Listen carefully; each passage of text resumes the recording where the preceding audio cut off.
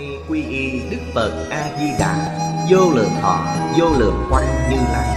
Nguyện cho hết thảy chúng sanh Nghe được danh hiệu của Ngài Đều có được tính tâm kiên cố Nơi bản nguyện siêu thắng Và cõi nước cực lạc thanh tịnh trang nghiêm. Con nay quy y pháp môn tịnh độ Tín nguyện trì danh Cầu sanh cực lạc. Nguyện cho hết thảy chúng sanh Đều được thọ trì tu tập Phương tiện thành Phật tối thắng. Con nay quy y, Đức Quan Thế Âm Bồ Tát, Đức Đại Thế chín Bồ Tát Và Thanh Tịnh Đại Hải Chúng Bồ Tát Nguyện cho hết thảy chúng sanh Đều phát Bồ Đề Tâm, Sanh về cực lạc, Nhập thanh tịnh chúng, Chóng thành Phật Đạo Tịnh độ Đại Kinh Giải diễn nghĩa, Chủ giảng Lão Pháp Sư Tịnh Không, Chuyển ngữ, Hành Chương, Biên tập, Bình Minh, Thời gian, Ngày 7 tháng 2 Năm 2011 Địa điểm Tịnh Tông Học viện Úc Châu, Tập 269 Chư vị Pháp Sư, Chư vị đồng học, Mời ngồi xuống.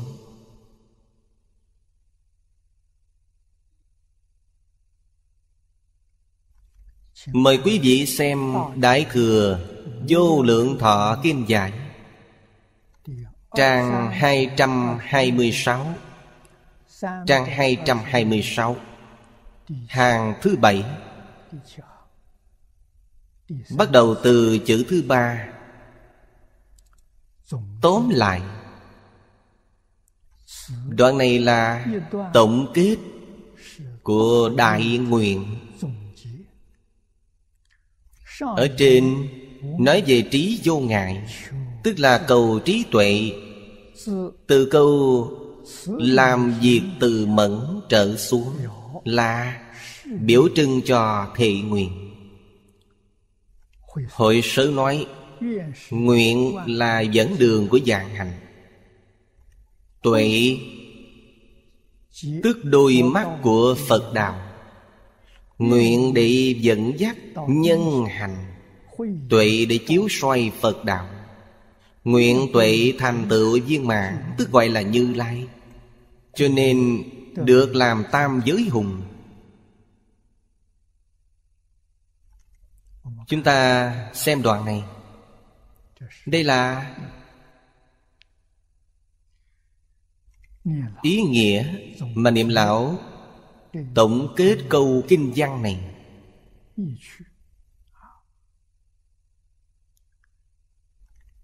Ông nói, Đoạn này là tổng kết của Đại Nguyện. Ở trên nói, Trí vô ngại, Cầu trí tuệ. Làm việc từ mẫn trở xuống Là biểu trưng thầy nguyện. Trong hội sớ nói, Nguyện Là dẫn đường của dạng hạnh.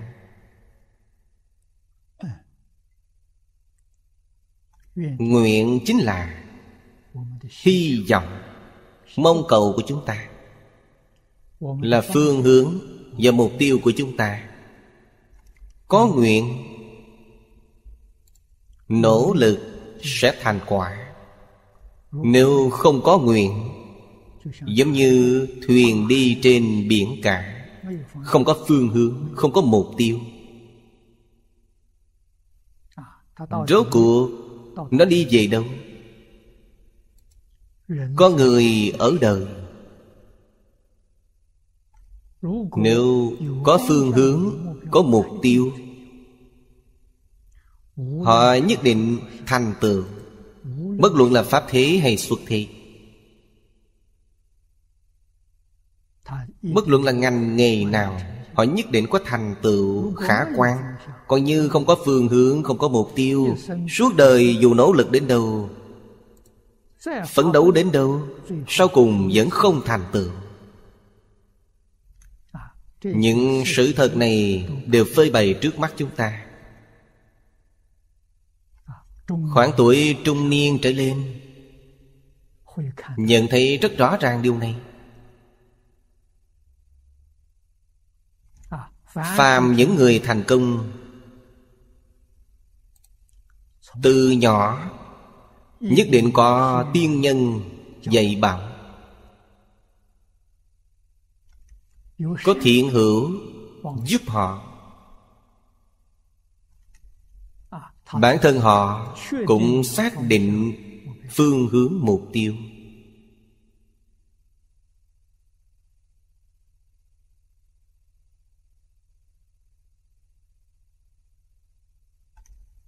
Có câu Cổ nhân thường nói Mười năm có thành tựu.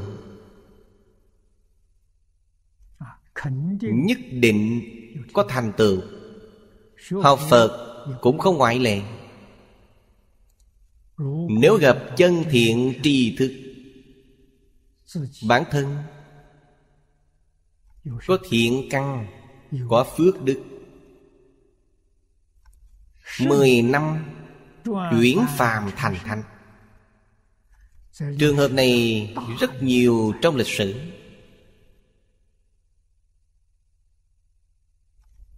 Họ có thể thành tựu Vì sao chúng ta không thể thành tựu?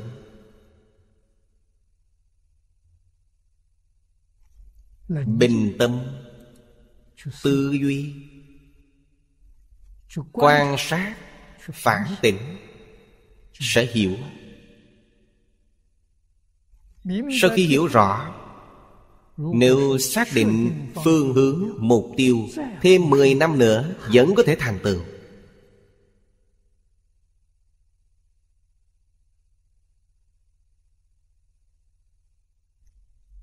Nếu bỏ lỡ nhân duyên tốt Thành tựu rất có giới hạn. Người học Phật Không thể không có nguyện. Pháp thế gian gọi là không thể không có chí Chí và nguyện là cùng một vấn đề.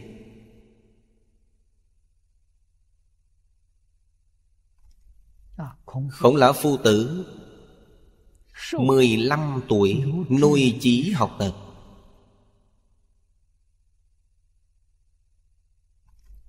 Ông có phương hướng Có mục tiêu.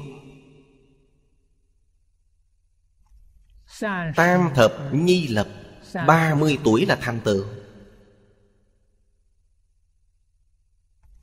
Thành tựu gì? Trở thành thánh nhân.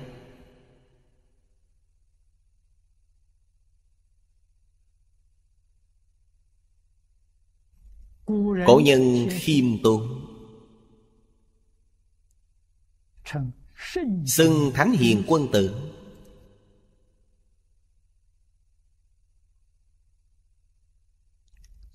Từ một phàm phu Người bình thường. Có thể đạt đến từng lớp quân tử. Quân tử. Tức là thánh hiền Nâng cao lên là hiền nhân. Tiếp tục lên cao nữa là thánh nhân.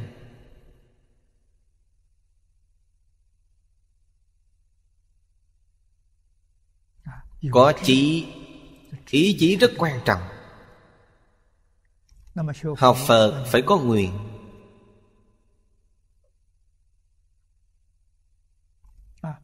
Có nguyện Mới thật sự có thành tựu. Phát nguyện.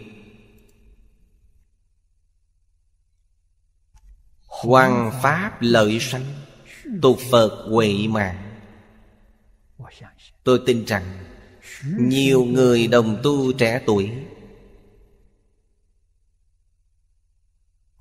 Phát tâm xuất gia, Đều có chí nguyện này.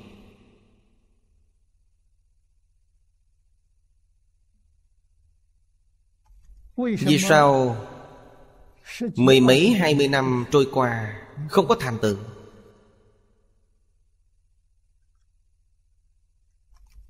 Không thể nói không có nguyện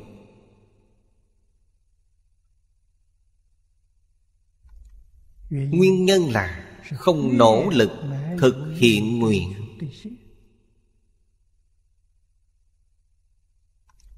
Chúng ta lại hỏi Vì sao không thể thực hiện?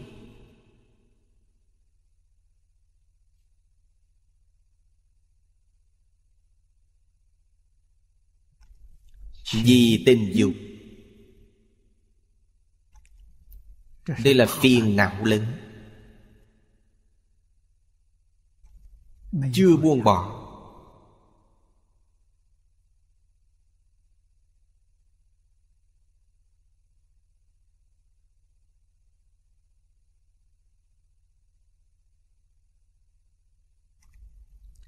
Trong Pháp thế xuất thế gian. Chưa học căn bản giáo dục. Vấn đề này có.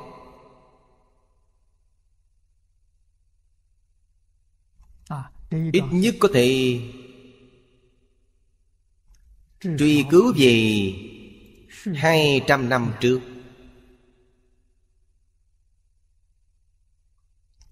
Một trăm năm đầu của hai trăm năm đó vẫn còn có người nói, Nhưng người thực hành rất ít. Một trăm năm sau, Đến người nói cũng không có.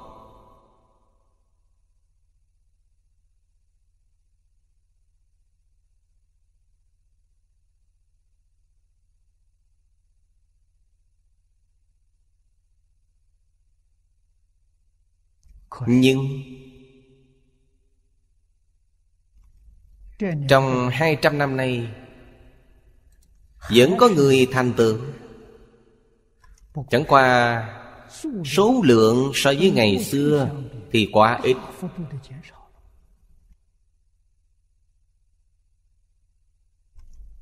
Đây là thật. Do đây có thể biết Cổ nhân nói không sai Việc do con người làm Hay nói cách khác Phải chính mình gánh chịu trách nhiệm. Không được oán trời trách người. Đây chính là Chí nguyện có kiên định hay không? Gặp trắc trở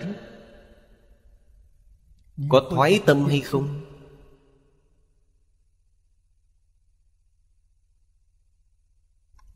Đây là then chốt Bất luận gặp trắc trở gì Đều không nản chí Đều không thay đổi. Người này đã thành công. Họ nhất định thành công. Gặp trắc trở liền thoái tâm. Gặp chướng duyên liền oán hận Đây là người.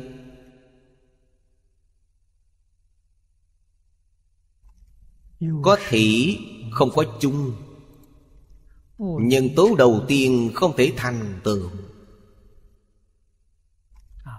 Không thể giữ vững chí nguyện mình đến cuối cùng.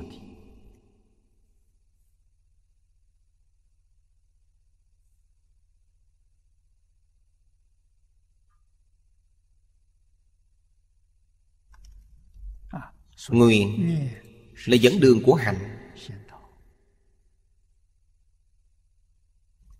Tuệ là con mắt của Phật Đạo Điều này rất quan trọng. Đặc biệt là Khi gặp khó khăn, Ta có tuệ nhãn, Có năng lực phân biệt phương hướng. Có thể phân biệt chánh tà. Có thể phân biệt thiệt hơn Cho nên có thể hướng đến điều lành tránh điều dữ.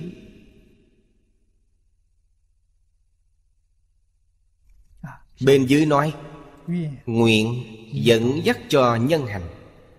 Nhân là nhân địa. Khi mới học nó dẫn dắt ta tuệ chiếu soi phật đạo. Ta nắm bắt được con đường thành phật này vậy.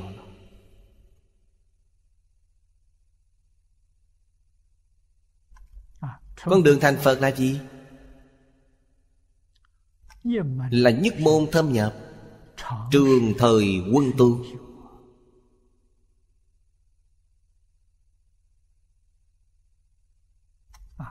Điều này khó nhất. Phật pháp có rất nhiều pháp môn. Pháp môn nào khí hợp với căn cơ của mình? Sự chọn lựa này không dễ. Đây là trí tuệ. Bản thân không có trí tuệ. Cũng không có chân thiện tri thức giúp đỡ. Lúc này chúng ta đối với pháp môn có thể thử một chút.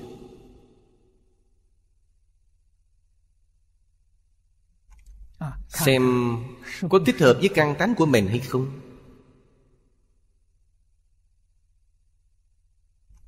Không được miễn cưỡng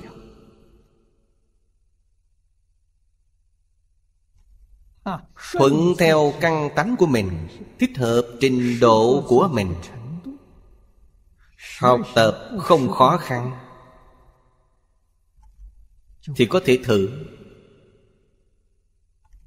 Thử từng thứ một. Thời gian khoảng mấy năm. Đại khái đều đã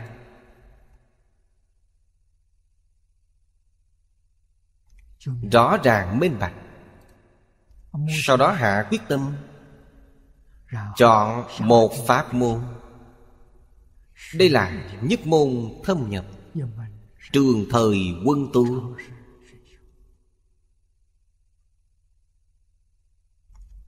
Là quá trình cần phải trải qua của đại đa số đồng tu.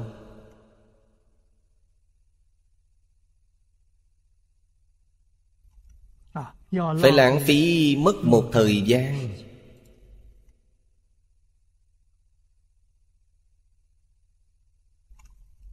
Tâm quyết định phát.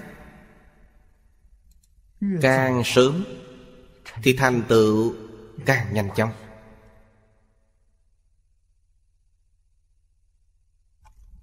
Bây giờ chúng ta biết trong tất cả kinh điển thù thắng nhất là kinh vô lượng thọ. Nhưng kinh vô lượng thọ thật sự có khó khăn.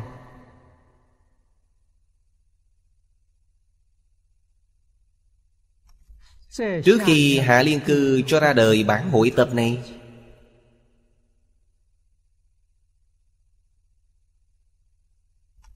đệ tử nhà phật nghiên cứu kinh vô lượng thọ không nhiều. Cho dù chuyên học kinh vô lượng thọ, đa phần đều áp dụng bản hội tập của dương long thư.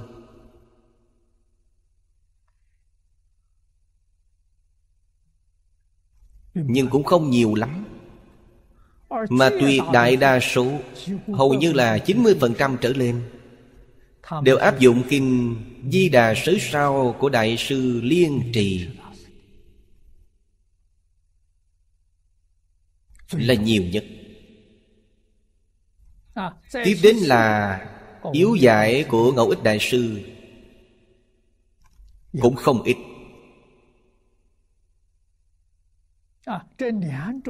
Người học tập theo hai loại này rất nhiều. Đây là tu tịnh độ.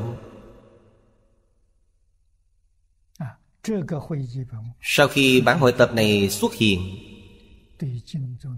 cống hiến cho tịnh độ tông rất lớn.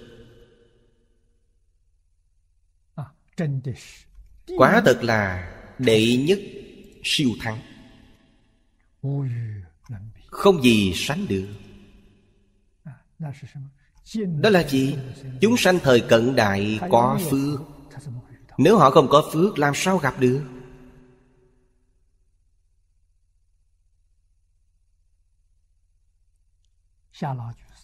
Khổ tâm 10 năm của Hạ Liên Cư Hội tập thành cuốn sách này.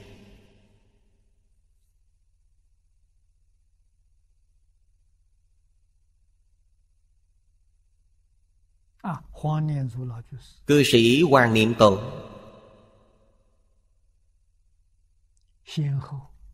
Tôi dự đoán Trước sau ít nhất cũng có 10 năm chuẩn bị sưu tập tư liệu.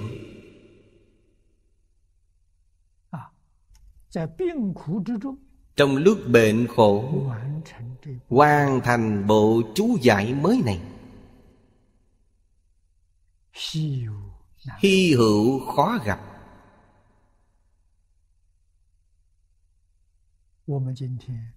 Ngày nay chúng ta đọc bộ kinh này, đọc bộ chú giải này đúng là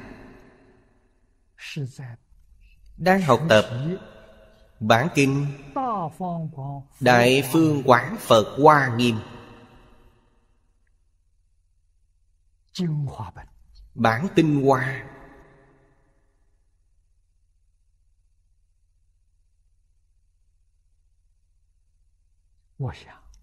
tôi nghĩ từ đây về sau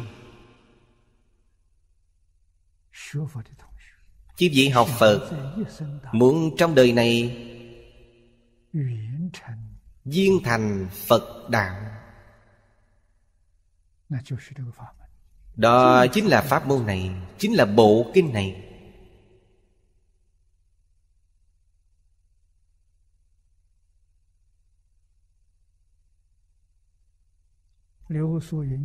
Cư sĩ Lưu Tố Dân làm gương cho chúng ta thấy. Chúng ta đã thấy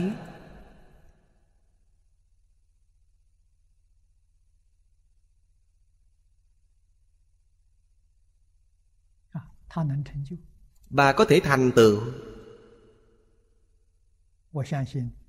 Tôi tin quý vị cũng có thể thành tựu. Mọi người đều có thể thành tựu.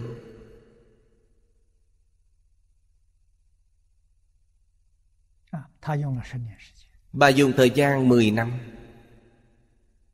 À, Chúng ta phát nguyện. Tận hình thọ.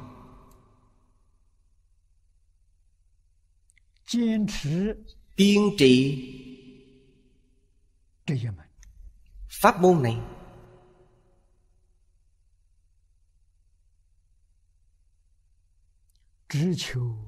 Chỉ cầu thâm nhập.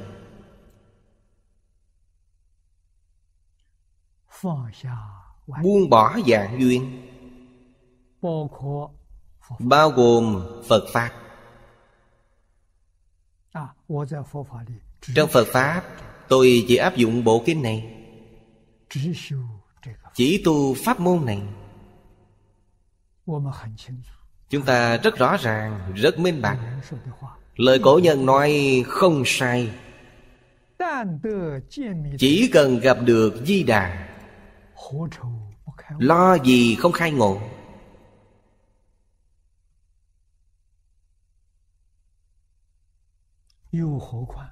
Hướng gì ở sau?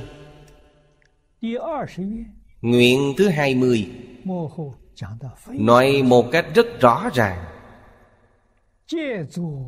Đều làm A Duy Diệt Trí Bồ Tát. Thì chính là đại trị đại ngộ minh tâm kiến tánh.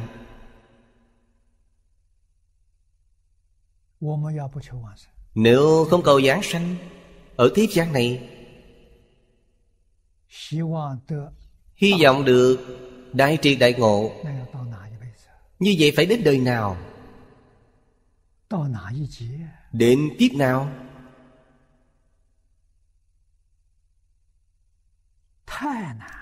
quá khó.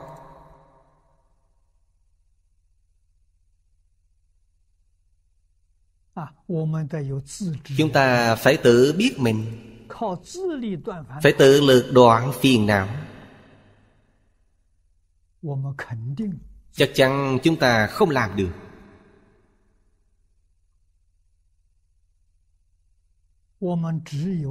Chúng ta chỉ có dựa vào tha lực mới có thể làm được. Tha lực là oai thần bổ nguyện của phật a di đà gia trị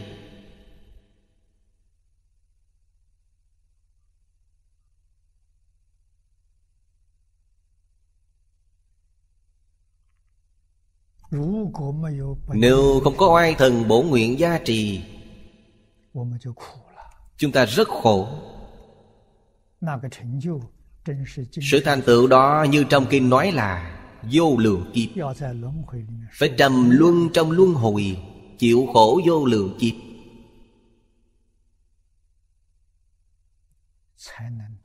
Mới có thể được cứu.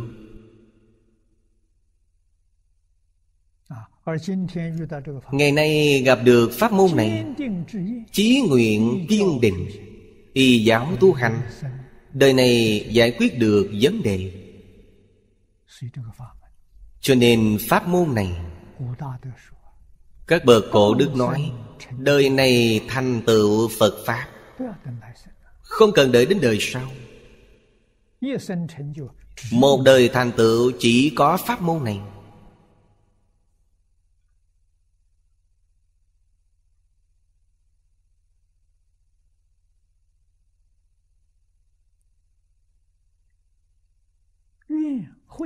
Nguyện và tuệ Thanh tựu viên mạng Đây gọi là Như Lai. Như Lai tức là nhị túc tôn. Túc nghĩa là viên mạng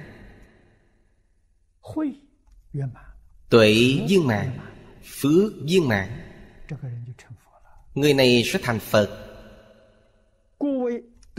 Cho nên được gọi là Tam Giới Hùng là xưng tán ngài là đại anh hùng của tam giới.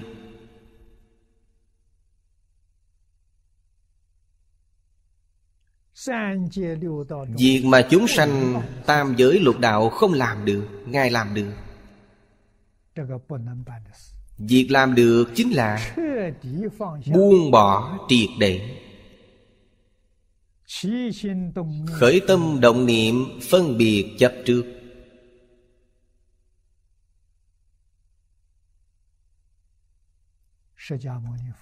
Đức Phật Thích Ca Mâu Ni đã buông bỏ.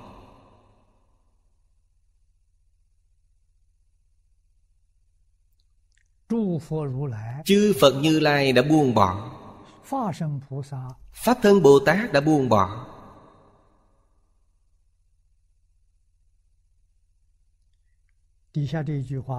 Câu tiếp theo rất quan trọng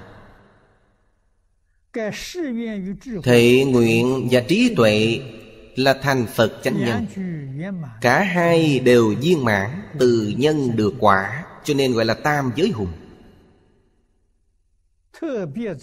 Ở đây đặc biệt nhắc nhở chúng ta Thệ nguyện và trí tuệ là chánh nhân của thành Phật.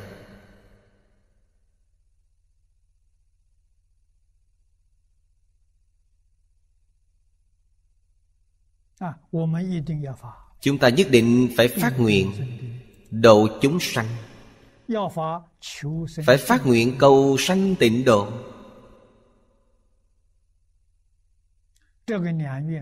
Hai nguyện này là cương lĩnh của đại nguyện.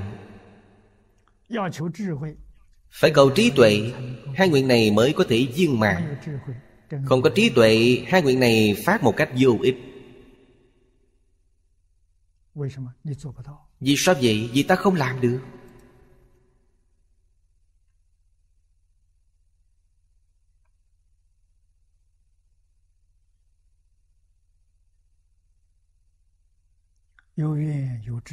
Có nguyện có trí.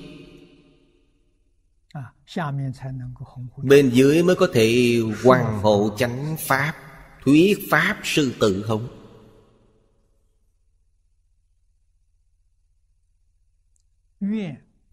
nguyện mình thuyết pháp. Có thể như thí tôn.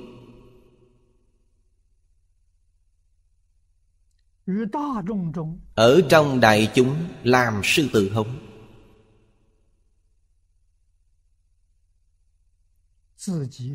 Bản thân thành tựu cần phải giúp người khác. Bản thân có một phần thành tựu thì giúp người khác một phần. Bản thân có hai phần thành tựu thì phải giúp người khác hai phần.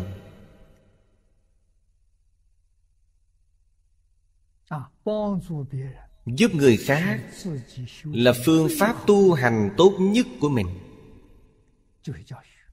Chính là dạy học. Vì sao vậy? Vì dạy học tương trưởng.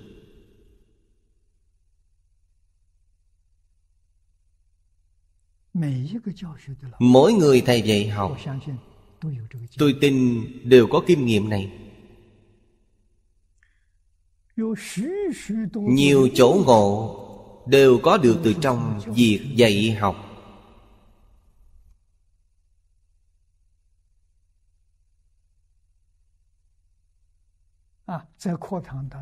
trong bài học hoặc trong lúc vấn đáp với học sinh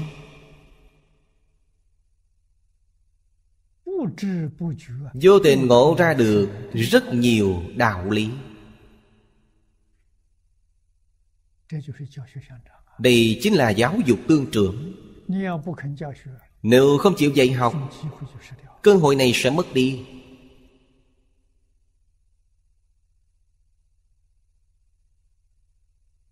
À, Người bây giờ gọi là giao lưu. chia sẻ có lợi ích rất lớn cho bản thân. mỗi lần giao lưu mỗi lần chia sẻ đều có thể nâng cao cảnh giới của mình.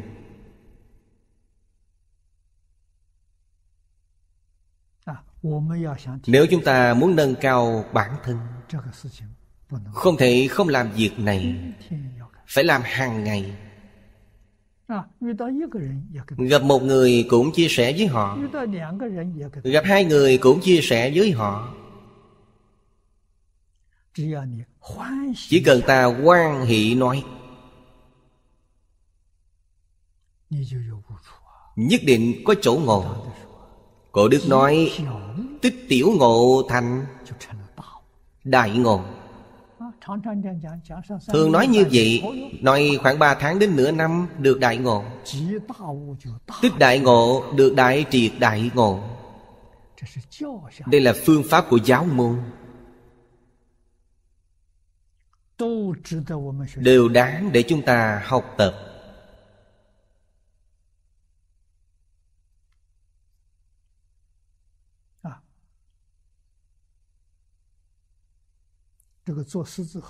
làm sư tử hống. Thế nào gọi là sư tử hống? sư tử hống là ví dụ. ở đây nói đến sư tử. Tức sư tử trong loài giả thú. Vua của loài thú. Tiếng hống của sư tử Trăm thú sợ hãi. Thật vậy.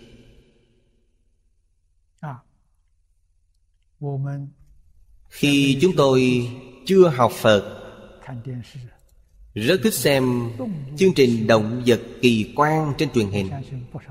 Tôi tin có không ít người đều đã xem. Trong động vật kỳ quan, quý vị thấy con sư tử. Tiếng hống của nó khiến loài động vật nhỏ run rẩy không chạy nổi. Có oai lực lớn đến như vậy. cho nên nói thế tôn quyết định thuyết pháp vô uy là sư tử hống dùng điều này để hình dung để tán thán. Phật thuyết pháp quyết định vô uy.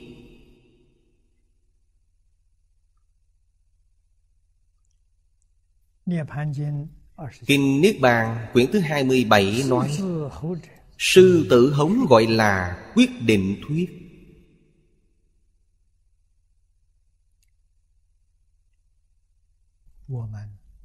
Chúng ta học phật. Đặc biệt là những người trẻ tuổi sơ học. Không thể không tin.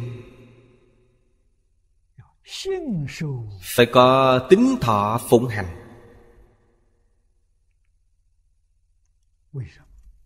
Vì sao vậy? Vì quyết định thuyết Ba chữ này quá là rất khó được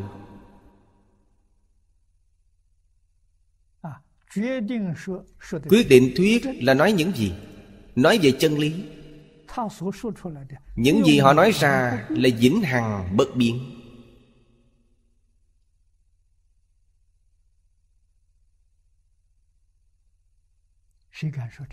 Ai dám nói câu này?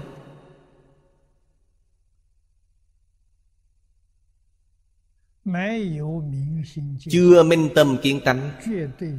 Tuyệt đối không dám nói câu này.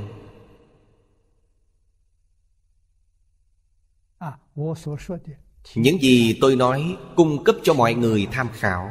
Xin mọi người chỉ giáo. Không dám quyết định.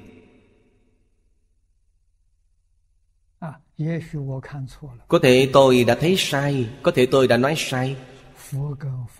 Phật và pháp thân bồ tát không như vậy. Mỗi câu mỗi chữ họ nói chính là quyết định thuyết. Ta không thể thay đổi dù chỉ là một chữ.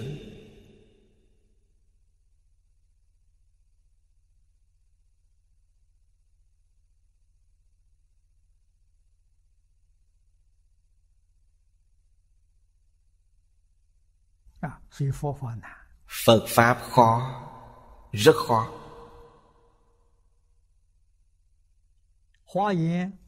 Trong kinh Hoa Nghiêm và Đại Trí Độ Luận đều nói Phật Pháp vô nhân thuyết Tuy trí mạc năng giải Đây là nói đến Phật Pháp Cũng chính là kinh điển của Phật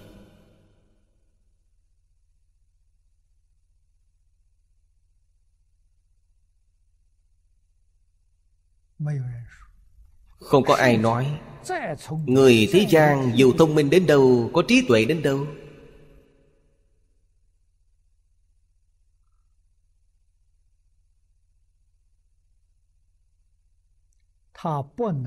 Họ không thể lý giải Tất cả Pháp Phật nói.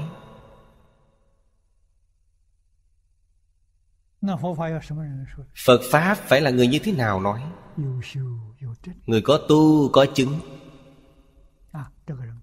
Người này có thể nói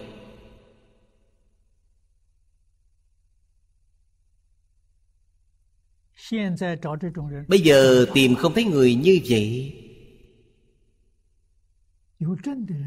Không tìm thấy người chứng.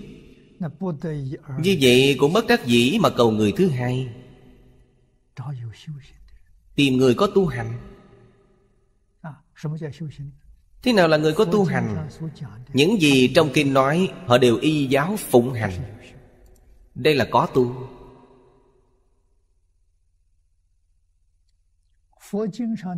Đạo lý trong kinh phật nói họ đều áp dụng biến thành tư tưởng kiến giải của mình. họ tiếp thu giáo huấn trong kinh phật dạy biến thành tư tưởng hành vi của mình.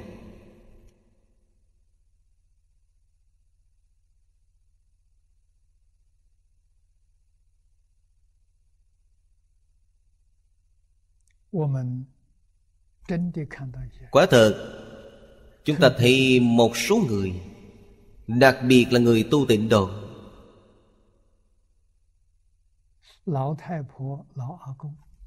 các ông cụ, bà cụ. Họ không được tiếp thu giáo dục. Thậm chí có rất nhiều người không biết chữ. Họ thuộc kinh a di đà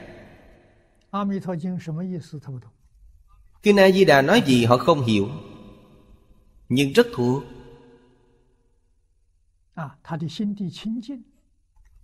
Tâm địa họ thanh tịnh. Không có nghi hoặc Không có tạp niệm.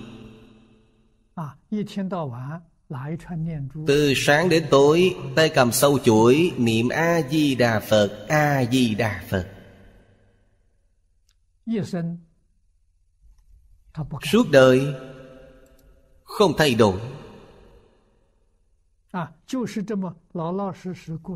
Chân thật như vậy hết một đời.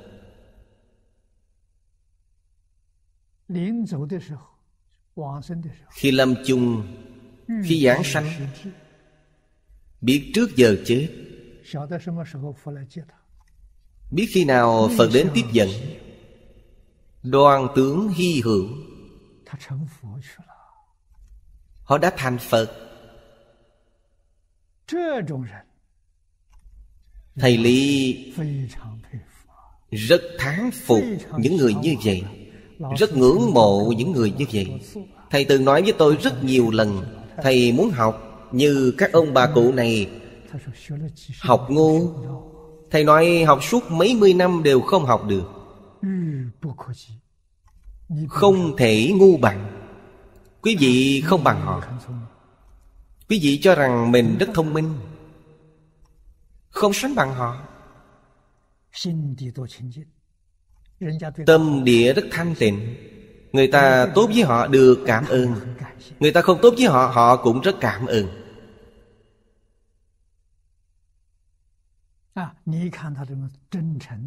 Quý vị xem từ bi chân thành của họ. Không có phân biệt, không có chấp trước. Không có gì không tốt.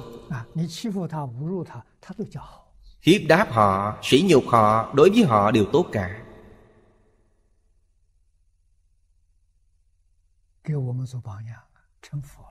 làm gương cho chúng ta họ đã thành phật. Thật sự thành phật. Tu hành chính là như vậy.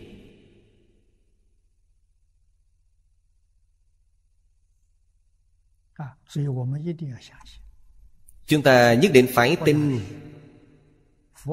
không những là phật bồ tát nói mà thánh hiền thế gian cũng nói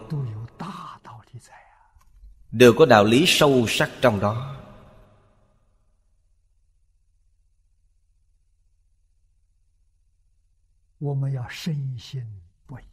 Chúng ta phải thâm tín không nghi.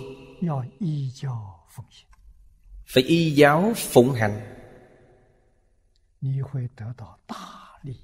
Như vậy mới đạt được lợi ích lớn lao.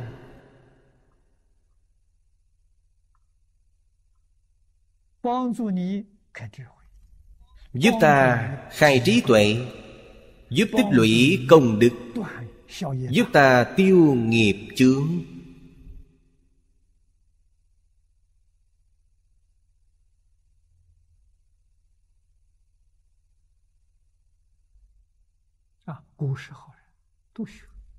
Người xưa đều học Bất luận là biết chữ hay không, Quả thật không hề liên quan đến biết chữ hay không biết chữ. Như Đại sư Huệ Năng nói, Đều học, Đều hành trì, Đều tin, Đều y giáo phụng hành.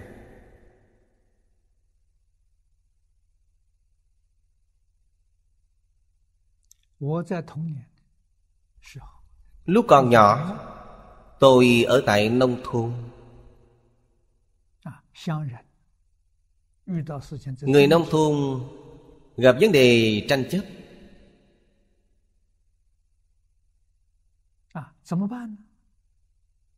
Làm sao?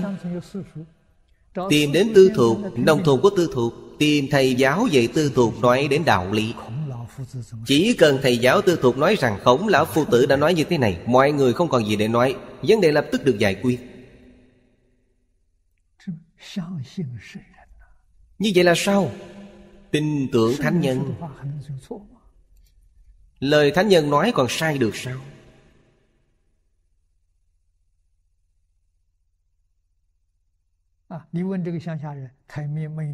Quý vị hỏi người nông thôn này, Họ cũng chưa từng học sách khổng tử. Họ biết có khổng tử, Ông là thánh nhân rất tôn kính khổng tử. Chỉ cần thầy giáo nói với mọi người, khổng lão phu tử nói như thế nào, người người đều phục. Lập tức hóa giải mọi tranh chấp. Hiệu quả hơn pháp luật hiện nay.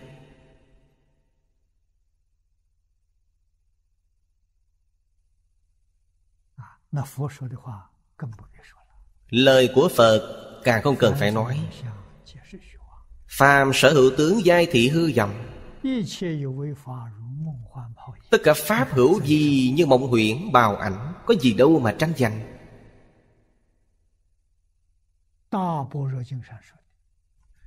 Trong kinh Đại Bát Nhã nói, Tất cả pháp vô sở hữu, Tất cánh không bất khả đắc, Có gì đâu mà tranh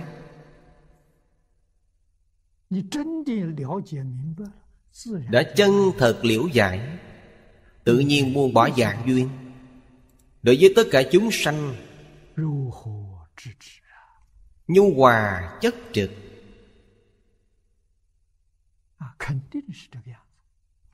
chắc chắn như vậy. không phải học được từ đâu. Pháp vốn như vậy. Tự nhiên không hề miễn cưỡng. Phẩm phật quốc trong kinh duy ma nói diễn pháp vô quý do như sư tự hống. Chú giải của triệu công nói triệu công là đại sư tăng triệu. Khi Đại sư Cưu Ma La Thập Định Trung Quốc, Hoàng Pháp, Đại sư Tăng Triệu Là đệ tử của Ngài La Thập. Một đệ tử ưu tú.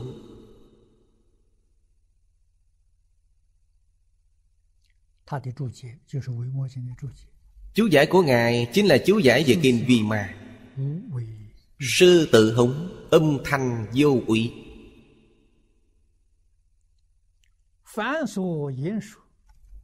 Phàm những gì nói ra Không sợ quân ta dị học. Dĩ như sư tự hống Trăm thú không bằng.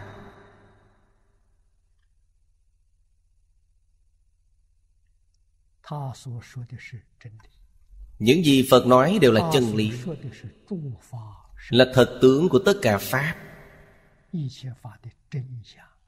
Là chân tướng của tất cả pháp.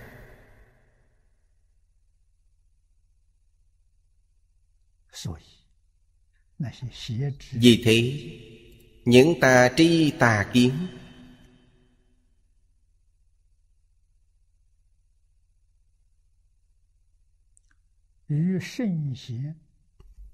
chạy với giáo quấn thánh hiện Đều gọi là dị học.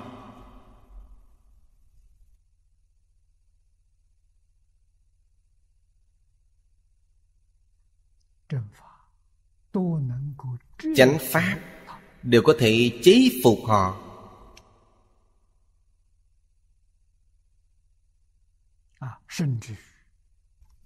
Thậm chí những người dị học tà tri tà kiến này khi gặp được chánh pháp, họ cũng rất ngoan ngoãn, cũng biểu thị cung kính, không nói gì nữa.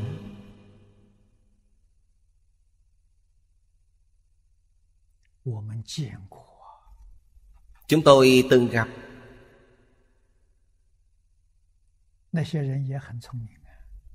những người này rất thông minh.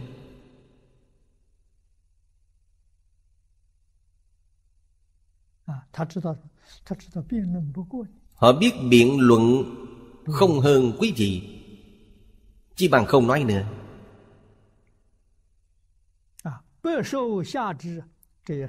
Trầm thú không bằng đây cũng là ví dụ. Sư tử là vua trong các loài thú 其他的也是 Nơi sư tử ở các loài thú khác Đều tránh xa 啊，这就是形容。 Đây chính là hình dung 乃 Nơi Phật thuyết Pháp 尽之徒， Những người có tà tri tà kiến Những người dị học cũng đều phục 或者 Hoặc họ sẽ rời xa 啊不离开，他也不敢说话。 không rời xa, họ cũng không dám nói gì. Thuyết Pháp như thế, Cho nên có thể rộng độ chư hữu tình. Trong này bao hàm ý nghĩa rất sâu sắc. Nghĩa là phải minh tâm kiến tăng. Khi nói Pháp, Mới giống với chư Phật Như Lai. Có sức nhiếp thọ lớn như vậy, Chưa kiến tánh không làm được.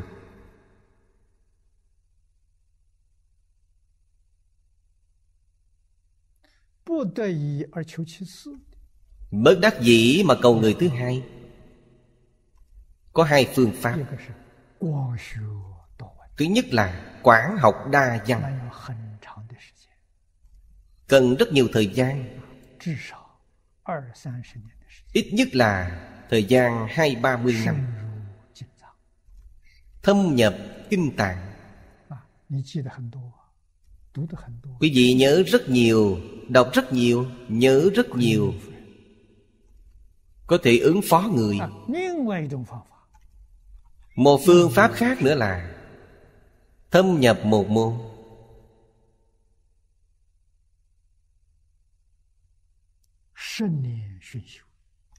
Mười năm quân tu Một bộ kinh. Không tạp, không loạn. Đây là gì? Là giới định tuệ. Tuân thủ phương pháp này Tuyệt đối không thay đổi. Gọi là trì giới Phương pháp này chỉ một bộ kinh. Một câu danh hiệu. Đối với người bình thường mà nói 三四年、 Ba bốn 四 năm 五年，你就 Nhiều nhất là bốn năm năm là được định 心就定下来了。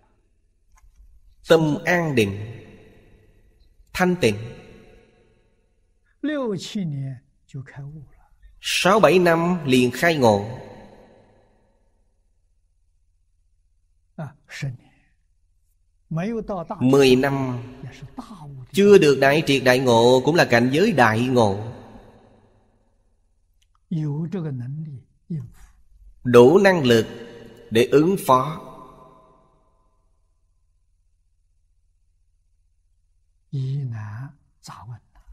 Mọi vấn đề nan giải.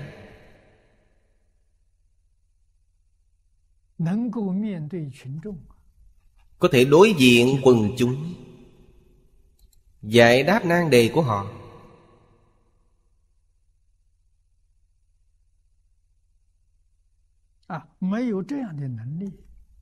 Không có năng lực như thế Không dễ Không làm được. Người ta đưa ra mấy câu hỏi Là làm khó được quý vị. Nhìn quý vị làm trò cười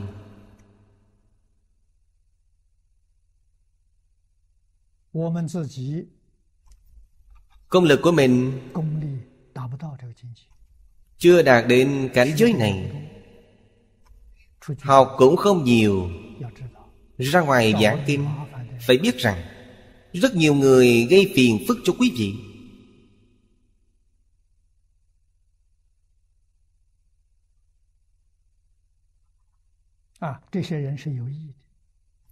Họ cố tình gây rắc rối.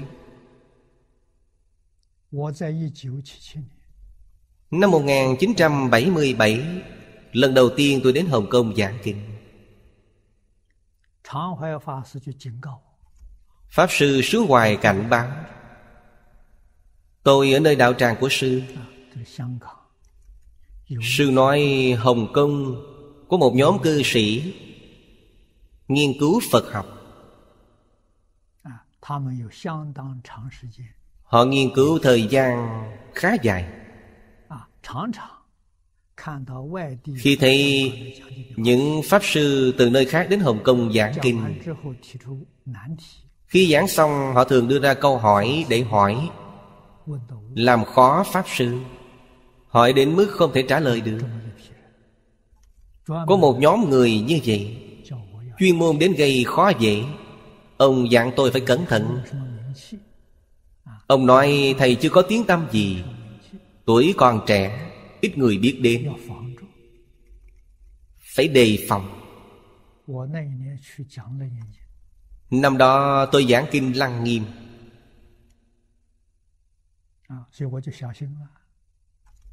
Bởi vậy tôi rất cẩn thận, Lên bộ giảng kinh rất khiêm tốn.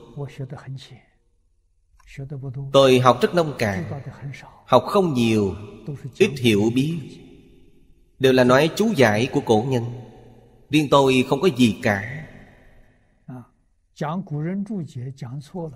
Nói chú giải của cổ nhân Nếu nói sai Chú giải phải chịu trách nhiệm. Tôi không có trách nhiệm. Xin mọi người phê bình chỉ giáo. Phải nói những điều này trước. Quả nhiên không có vấn đề gì xảy ra. Tôi ở đó dạng 4 tháng Không ai đến gây rắc rối cả. Những người đó có đến chăng? Thường xuyên đến nghe kinh. Một hôm giảng gần khoảng 2 tháng Nhóm người này mời tôi ăn cơm. Họ ở Hồng Kông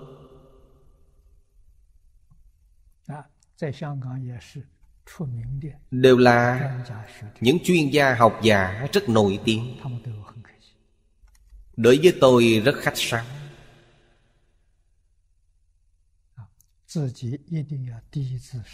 Bản thân nhất định phải hạ thấp mình. không được khinh mạng người. Phải khiêm tốn phải cung kính. Sợ nhất là tự cho mình hơn người. Khởi lên thái độ ngạo mạn Đó là nguyên nhân làm cho người khác đến gây bất lợi.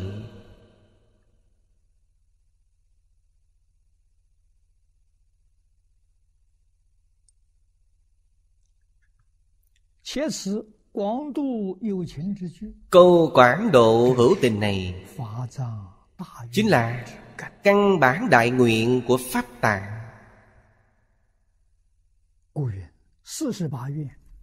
Cho nên nói 48 nguyện Mỗi nguyện đều vì chúng sanh. Đã thực hiện được câu Chúng sanh vô biên thể nguyện độ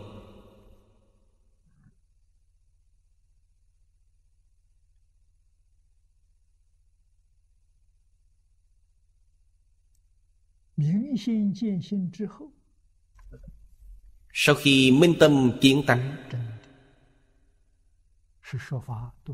Thật sự Thuyết pháp độ sanh. Tuy tự mình Chứng được Thật tướng các pháp. Nói pháp Gần giống với Như Lai.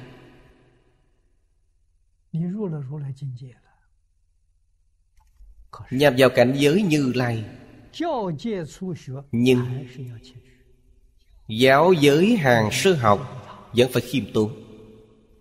Vì sao vậy? Vì đây là lợi tha. Học sinh học với thầy. Trẻ em học với người lớn. Người lớn phải làm gương cho trẻ nhỏ. Thầy giáo phải làm gương cho học trò cùng một đạo lý. 啊，谦虚从哪里学来的？ Khiêm tốn học từ đâu? 跟老师学来的。 Học từ người lớn Học từ thầy giáo 所以不可以有丝毫轻慢。 Cho nên không được có thái độ ngạo mạn Như vậy là sai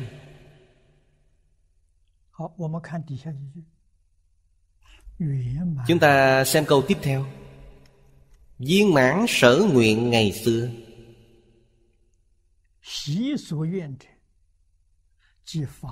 Sở nguyện trước đây, Tước Bồ Tát Pháp Tạng Tinh cần cầu được Trong năm kiếp. Kết được 48 đại nguyện. Bản thể nguyện Đà Phát Mỗi một nguyện đều công viên quả mạng. Cho nên gọi là viên mãn sở nguyện trước đây.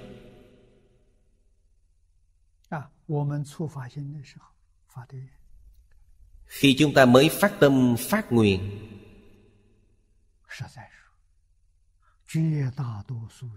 Thực tế mà nói Tuyệt đại đa số người học Phật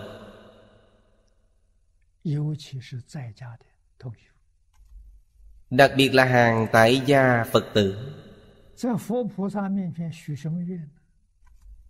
Đứng trước Phật Bồ Tát phát nguyện gì? Cầu Phật Bồ Tát gia hộ thăng quan phát tài Gia hộ gia đình bình an. Đa phần đều phát nguyện này.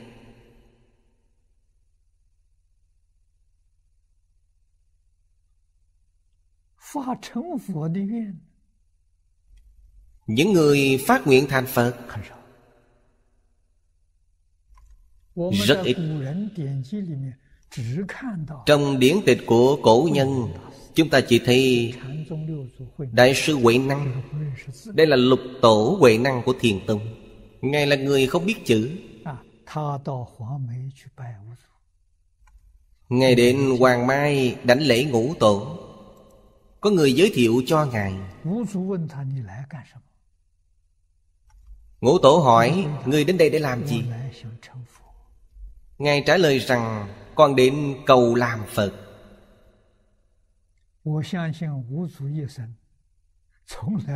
Tôi tin rằng suốt đời ngũ tổ Chưa từng nghe ai đứng trước Ngài nói Họ đến đây vì muốn thành Phật. Ngài thành Phật thật? Nguyện của Ngài viên mãn.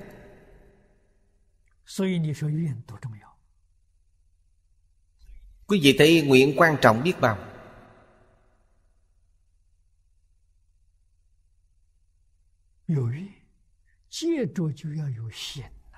Có nguyện Tiếp theo phải có hạnh. Hạnh có thể mãn nguyện của mình. Nếu không có hạnh Nguyện này là không nguyện. Không thể viên mãn. Bồ Tát Pháp Tạng phát nguyện. Phát nguyện gì? Nguyện trọng độ chư hữu tình. Ngài chỉ có một nguyện vọng.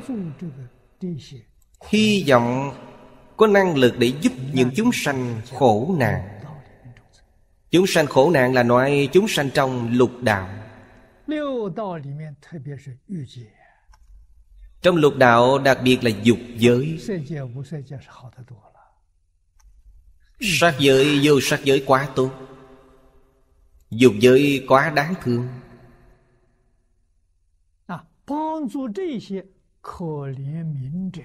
Giúp những kẻ đáng thương này một đời thanh Phật. Nguyện này lớn biết bao.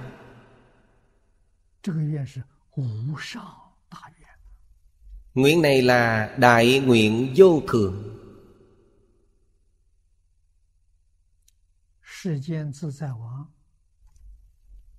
Thế gian tự tại dương Phật. Dạy Ngài.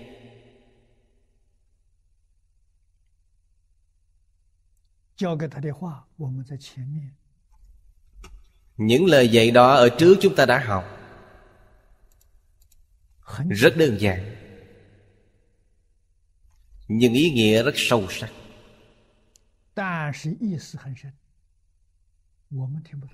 Chúng ta nghe Không hiểu. Bồ Tát Pháp Tạng nghe hiểu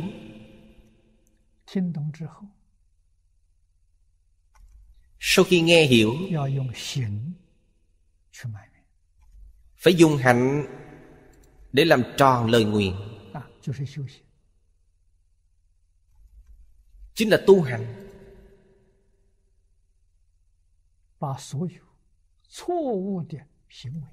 Sửa đổi tất cả hành vi sai lầm. Đây gọi là tu hành. bao 思想 hành vi bao gồm tư tưởng kiến giải ngôn ngữ tạo tác. Đây là bốn loại lớn.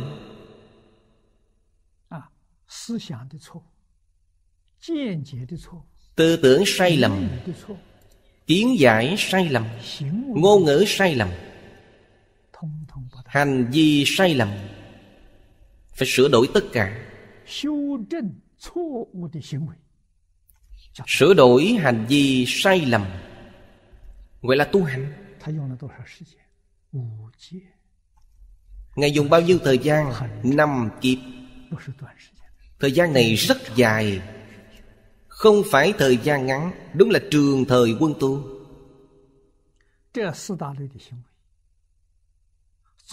Hành vi của bốn loại lớn này, tóm lại mà nói không ngoài chấp trước, phân biệt, khởi tâm đồng niệm.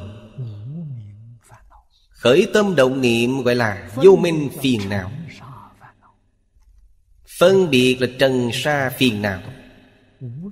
Trần sa là ví dụ nhiều như hạt cát vậy, vô lượng, vô biên. Kiến tư là kiến giải và tư tưởng sai lầm chính là chấp trước. Đào thải hết ba loại lớn phiền não này tức là thành phật.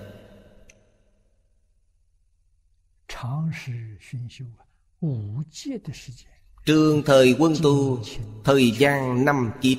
Quý vị xem tinh cần tìm kiếm. Tinh tấn.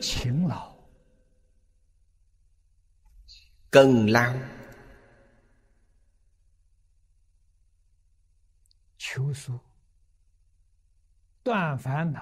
tìm kiếm phương pháp đoạn phiền não thành phật đạo. À, Kết được 48 đại nguyện.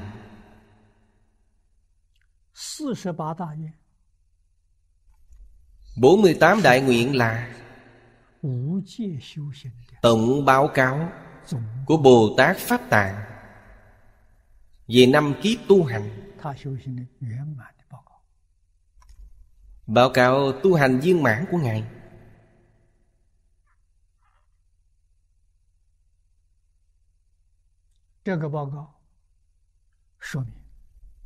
Báo cáo này nói rõ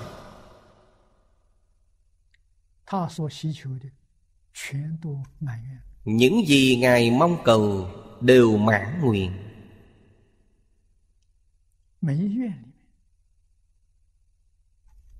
Cảnh giới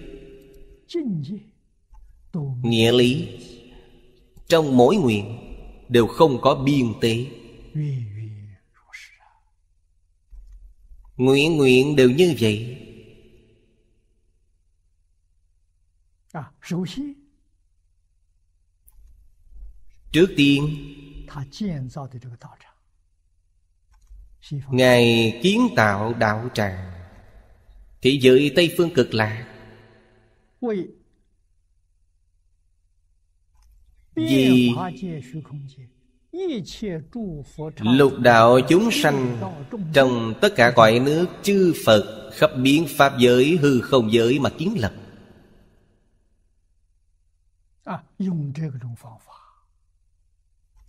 dùng phương pháp này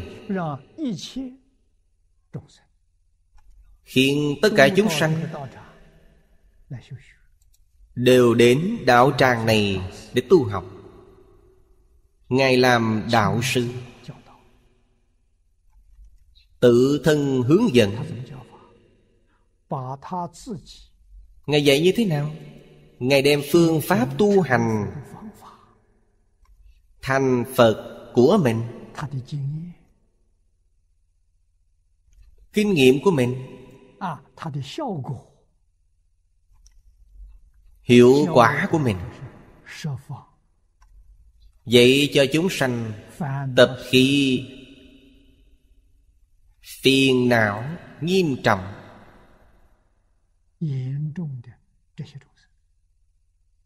Khắp mười phương.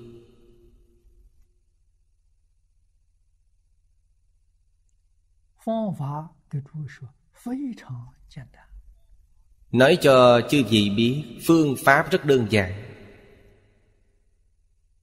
你别以为我们现在念这些阿弥陀佛 Đừng tưởng rằng Bây giờ chúng ta niệm câu A-di-đà Phật này 脸上显的， đã kết nối với Phật A Di Đà, 线路接通了，佛来接引我 nối được đường dây 到极乐世界去。 Phật đến tiếp dẫn chúng ta Đến thế giới Tây Phương cực lạc. Tu gì?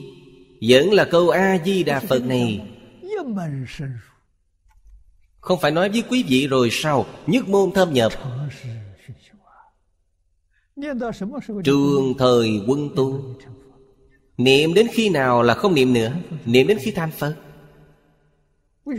Sau khi thành Phật vẫn niệm. Vì sao sau khi thành Phật vẫn còn niệm? Vì sau khi thành Phật phải đi tiếp dẫn chúng sanh, Đi giáo hóa chúng sanh vẫn dùng phương pháp này. Phương pháp này dùng đến cùng. Bản thân tôi dùng phương pháp này đã thành tựu. Tôi dạy người khác đều là phương pháp này. Đơn giản cột yếu. Ngày nay giảng kinh thuyết pháp cho quý vị. Câu Phật hiểu này giảng không hết không tận. Phật A-di-đà ngày nào cũng giảng Chính là giảng về ý nghĩa của câu A-di-đà Phật này. Ta càng nghe càng quan hỷ. Hay nói cách khác Phật A-di-đà ở thế giới cực lạc giảng kinh gì? Giảng kinh vô lượng thọ. Kinh vô lượng thọ nghĩa là tất cả kinh. Nghĩa lý của tất cả kinh không ngoài kinh vô lượng thọ. Vô cùng di diệu.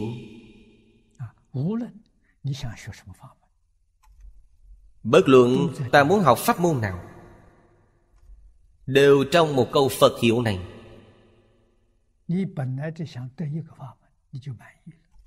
Dụng ta chỉ học được một pháp môn là viên mãn. Không ngờ tất cả các pháp môn đều đạt được vượt ngoài sự tưởng tượng của chúng ta Dũng chỉ muốn thông suốt một bộ kinh này là đã rất mãn nguyện Không ngờ tất cả kinh điển mười phương chư Phật nói đều thông suốt hết. Đến thế giới Tây phương cực lạc mới biết Không có gì không vượt ngoài sức tưởng tượng của mình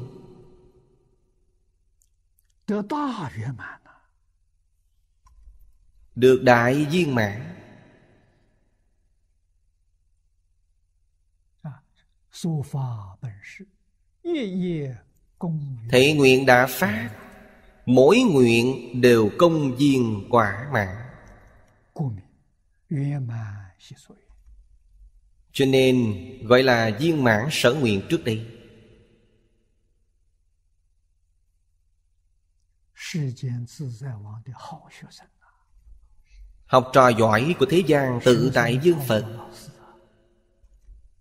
Học sinh hơn thầy.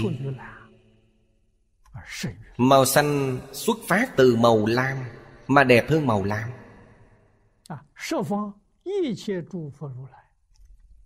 Tất cả chư Phật như lai khắp mười phương. Không ai không thán phục, Không ai không tán thán. Mọi người xưng tán Ngài là quan trung cực tôn Phật trung chi dương.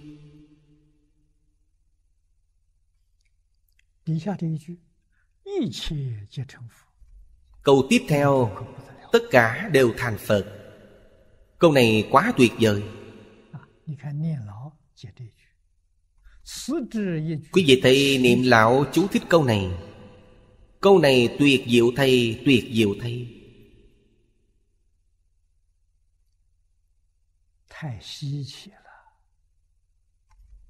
quá thần kỳ quá đặc thù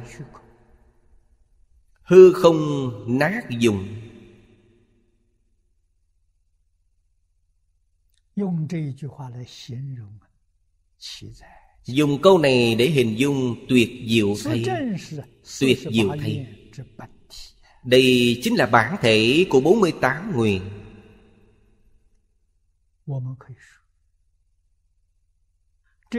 Chúng ta có thể nói, Đây là đại nguyện viên mãn của 48 nguyện.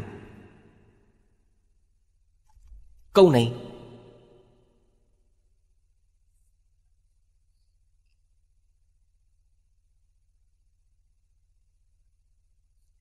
此之一句，流出四十八愿。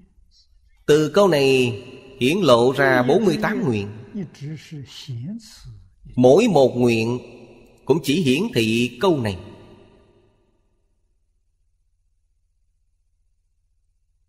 一切皆成佛是平等的， Tất cả đều thành Phật là bình đẳng 没有先后， Không có cao thấp Không có trước sau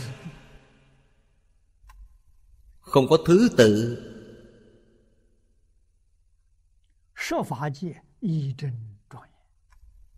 thập pháp giới y chánh trang nghiêm. không có ngoại lệ. kinh hoa nghiêm nói tình giữ vô tình đồng viên chủng trì ý nghĩa cũng như câu này. Đây là Bản hoài của tất cả chư Phật như lai.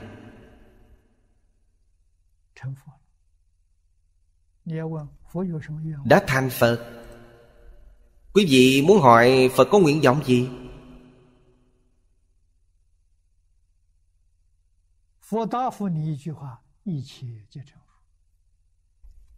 Đức Phật trả lời rằng Nguyện tất cả đều thành Phật.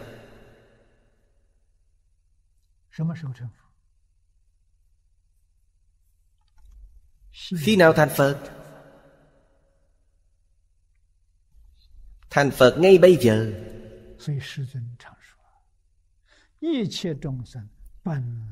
Đức Thế Tôn thường nói Tất cả chúng sanh vốn là Phật.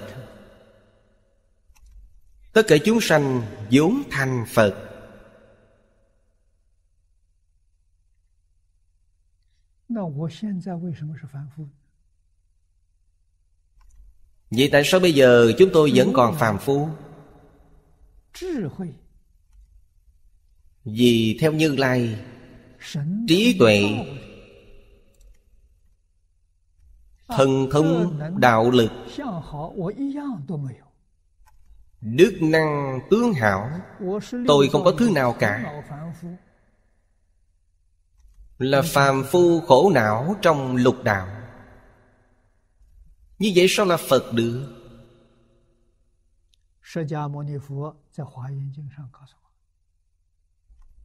Thích Ca Mâu Ni Phật trong Kinh Hoa Nghiêm nói với chúng ta, Vì sao ta biến thành như thế?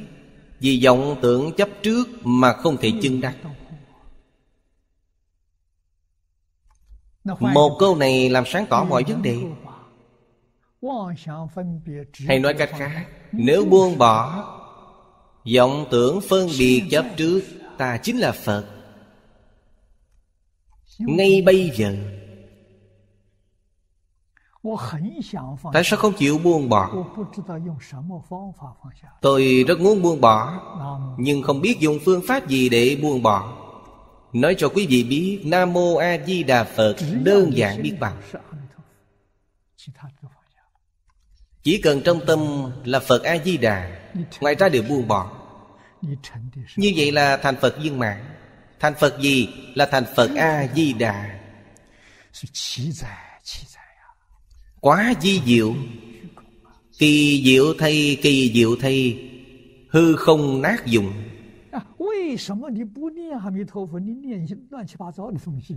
Vì sao ta không niệm Phật A-di-đà, Lại niệm những thứ đầu đầu?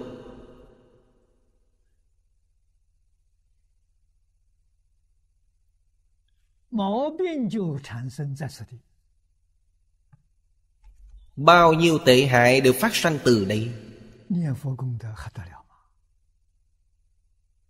真不得了！ Công đức niệm Phật thật vô lượng đúng không? Quả 所以 thật 这 vô 一句 lượng 话了，一切皆成佛，统一了全部的佛法。 Cho nên câu tất cả đều thành Phật Đã thống nhất toàn bộ Phật 在 Pháp Trong tịnh tông đúng là cực kỳ di diệu.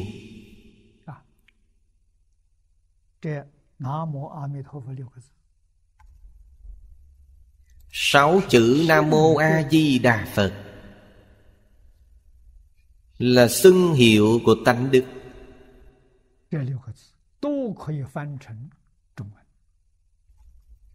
Sáu chữ này đều có thể dịch sang tiếng Trung. Không có gì khó khăn. Vì sao không dịch Là tôn trọng mà không dịch? Đối với nó chỉ kính. Đọc nguyên âm của nó.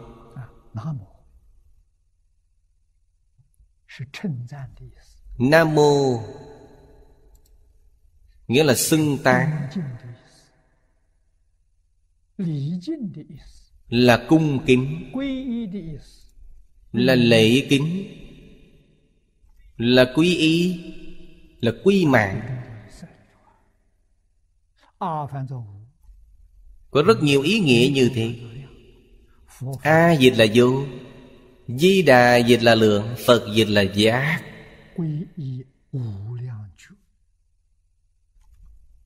Quy y bậc vô lượng giác.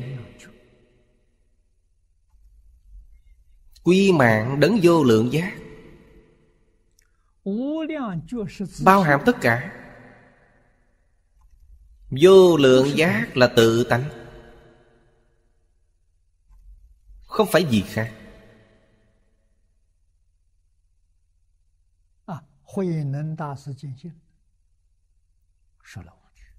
đại sư huệ năng kiến tánh nói ra năm câu tự tánh bất sanh bất diệt Tự tánh đầy đủ tất cả. vốn tự đầy đủ. Dạng đức dạng năng. Tự tánh là bất động Tự tánh năng sanh dạng pháp. Dạng pháp không lìa tự tánh. Ngài báo cáo với ngũ tổ Chẳng phải chính là ý này ư. Ý này, Một câu Nam Mô A Di Đà Phật là bao gồm hết. Không sót điều nào.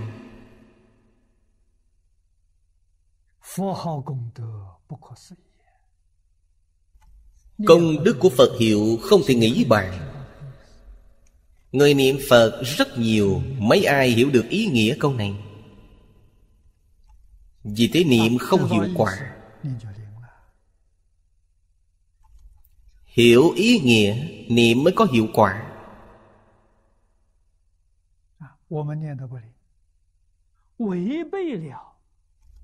Chúng ta niệm không có kết quả.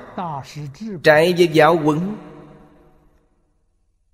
Của Bồ Tát Đại Thế Chí.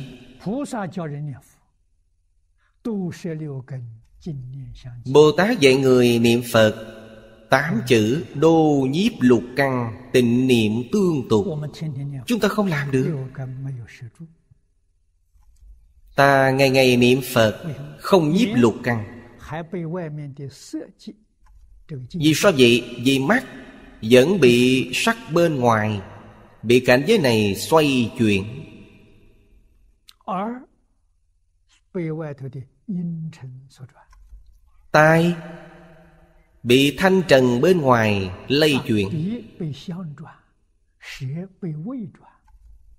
mũi bị hương chuyển lưỡi bị dị chuyển thân bị xúc chuyển ý bị pháp chuyển.